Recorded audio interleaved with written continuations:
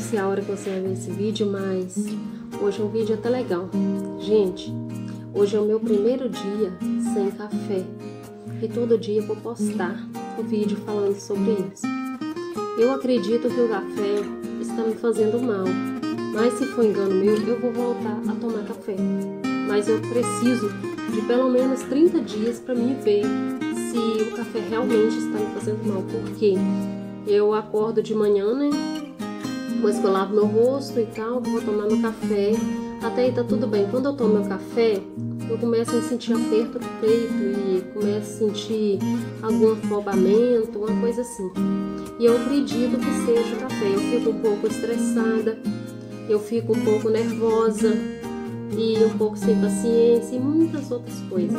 Então eu acredito que possa ser o café. Eu amo café, eu tomo café desde que eu entendo que que eu existo, né? Eu tomo café.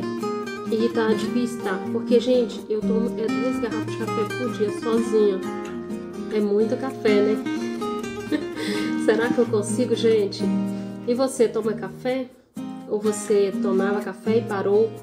Então deixa aí no comentário para mim sobre isso, me dando uma força. Se você já fez esse desafio, você toma café ou não, se você gosta. Eu amo café. Eu não sei o que será. Gente, eu fui pegar ali biscoito de nata e eu, na hora eu peguei a garrafa e eu lembrei. Eu não vou tomar café. Ai, eu não consigo, gente. Será que eu consigo? Vamos ver. Então vamos ver o próximo vídeo.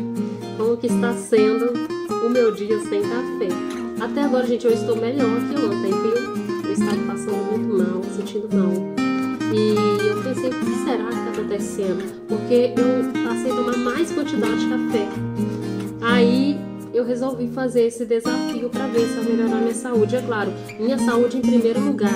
A gente tem que dar valor é aquilo que faz bem a gente. Se o café ou qualquer coisa que você toma ou você fuma alguma coisa te faz mal, pare.